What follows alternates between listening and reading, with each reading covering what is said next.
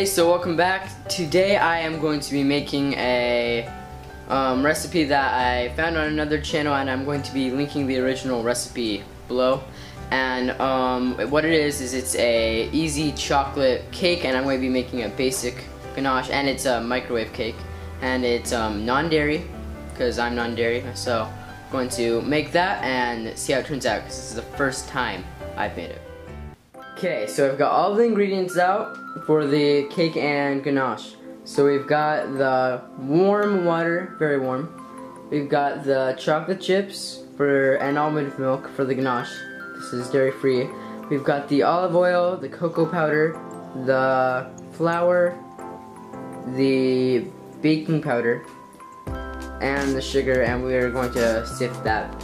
So we're going to get out our little thing where to dump the ingredients in. We've got one and a half cups of flour, pre-measured out there. Going to dump it all in. Glue's going to fall through. Beginning, so dump that out. We're also going to put in the unsweetened cocoa powder, and it is two thirds of it, two thirds cup. And then the three teaspoons of the that made a little mess. Of the baking powder. And what we're going to do there is we're going to sort of shake it in. Just like this, so it all sort of sits together.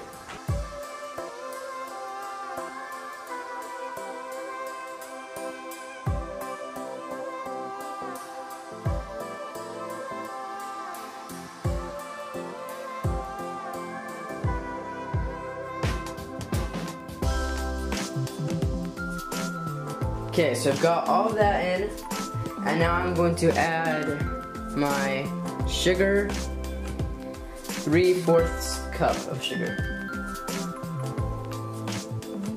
Then we're going to get our spoon, just going to mix that together.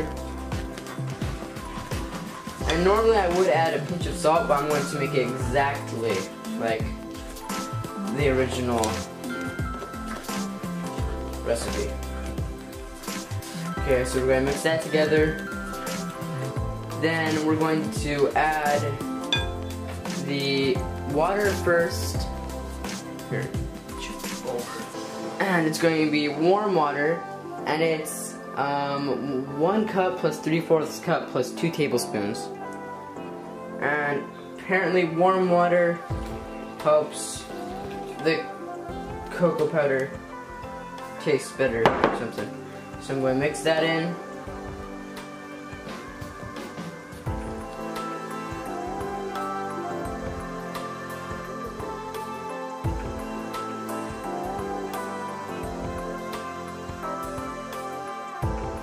Pretty good, and we're going to add our um, half cup plus one tablespoon of oil. Okay, so boom.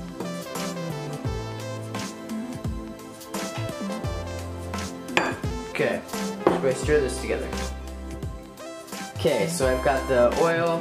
I used olive oil mostly mixed in. To scrape down the sides, make sure it gets all those lumps out, and it's about how it was described, pretty liquidy. So I'm going to get out my two pans because I'm going to double layer it and get out my parchment paper. Okay, so I've got my two pans, and in the original one, it was one cake, but I'm going to double layer it. So I've got the sides oiled, I've got the parchment paper in there, so I'm going to have to very carefully split it between the two bowls. So I'm going to give it one more quick mix. Let's do this in.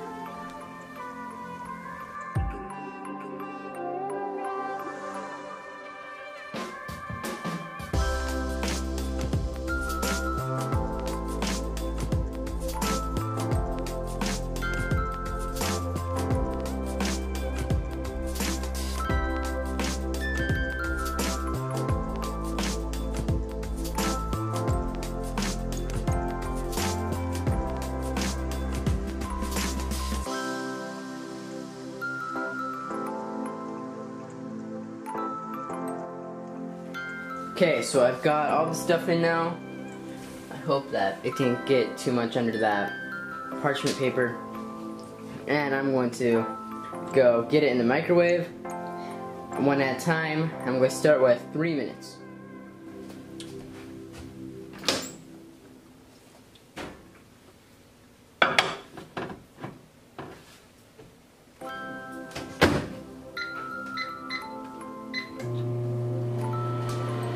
Okay, we're gonna pull that out when it's microwave.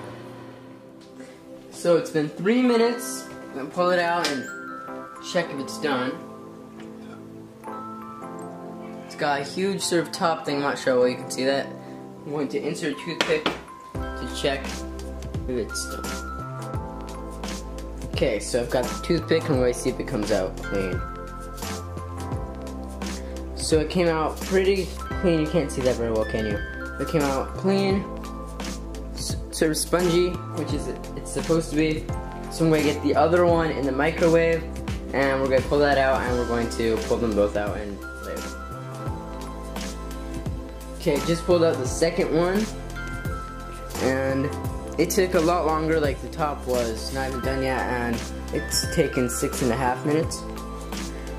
And it came out clean though, so it's ready, and when it's cooling off, let's make the ganache. Okay, so we're adding our one cup chocolate chips, one part chocolate chips for the ganache, and we're going to then add another one part, so another cup of almond milk, and it is like really hot, not like right below boiling and we're going to let it just sit there for one minute. Okay, so it's been a little over a minute, and I'm going to mix it and see what happens.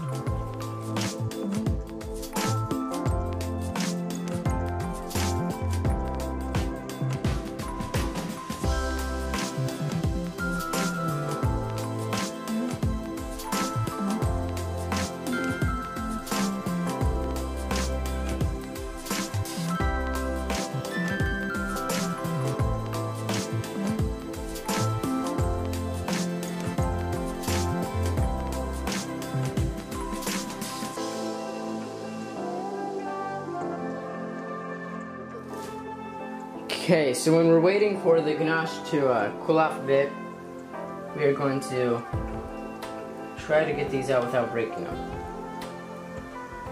Very carefully working my way around the edges. I try to oil these very well. Slide that one away. Okay, I'm gonna go quickly grab another bit of parchment paper. Okay, so I've got some parchment paper on it. I'm going to see if it'll just... Whoa. Come out.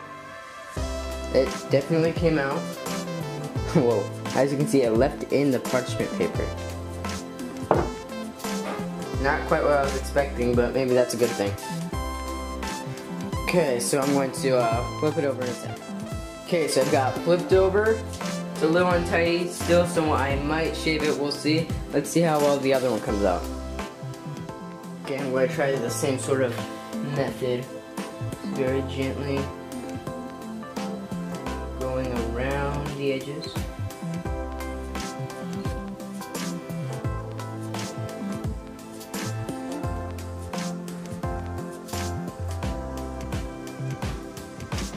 Now let's see if this one will dump as well.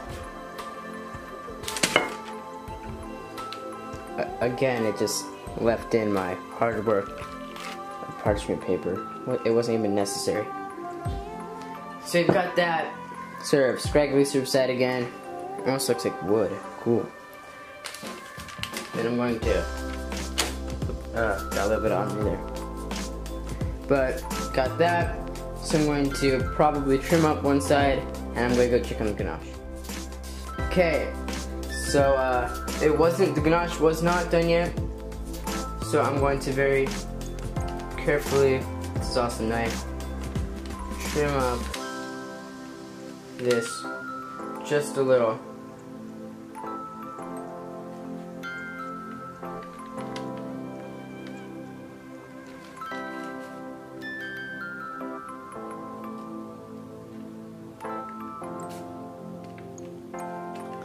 Never trimmed a cake before. So keep that in mind. There. Not perfect, but I bet another cake piece could rest on top of that. Get the other one. So you could rest on top of that, okay? Maybe not quite yet. But I'm going to trim the top one, I guess, and there's going to be the ganache and all to hold it together.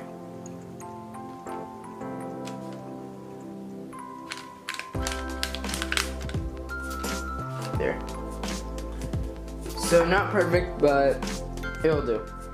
Okay, so this time I'm going to trim the top, then uh, flip it over. So I'll have this um, sort of wood-looking side. Can't see that on the bottom, and it will be covered in ganache. So no one's. But let's hope I can get this untrimmed better than the last one.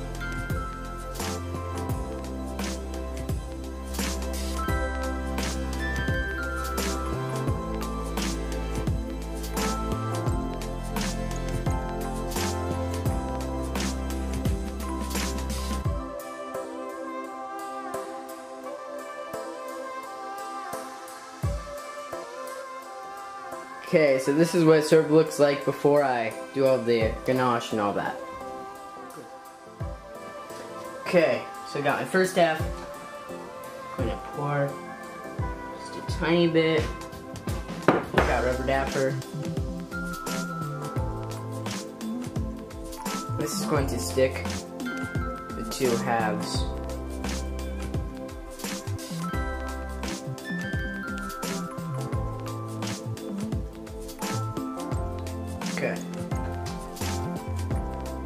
Hope that was enough. Okay, put that on. I'm going to pour on the rest.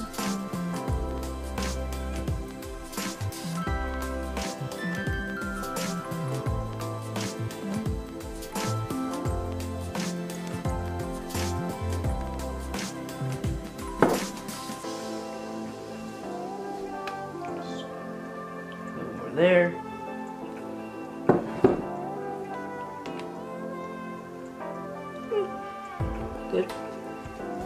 Like that other way around. So, sure, make it go around there.